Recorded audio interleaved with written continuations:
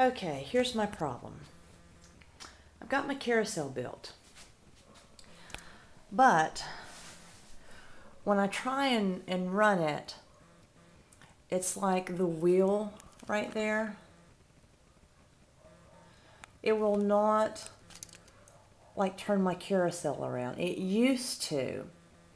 And I've tried messing with, let me this Ferris wheel out of the way.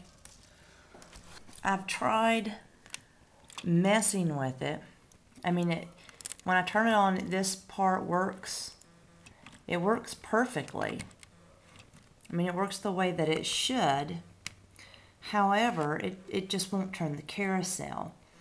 And when I hand turn it, it seems like it's very, very tight down on the bottom. Like the wheels on the bottom don't want to turn. But when I put it together, um, you know, before I completely finished it, the wheels were, were turning good. And I don't know if it's the weight of the carousel.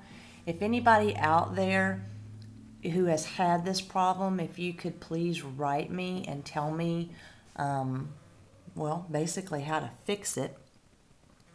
I'd like to get this up and running before I do my next video.